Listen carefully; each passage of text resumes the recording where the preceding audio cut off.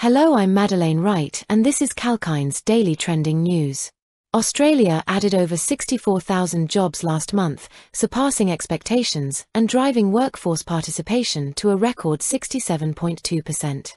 Despite this growth, the unemployment rate remained steady at 4.1%. The surge in employment solidifies economists' predictions that the Reserve Bank of Australia, RBA, will maintain its current cash rate of 4.35% through the year, citing the labour market's resilience. Full-time employment led the gains, with a 51,600 increase. The influx of migrants and more locals joining the workforce has contributed to sustained employment opportunities. However, private sector hiring has slowed, with a notable pullback in job vacancies. The RBA expects unemployment to rise gradually as the economy slows. That's the latest from Kalkine's Daily Trending News. I'm Madeleine Wright.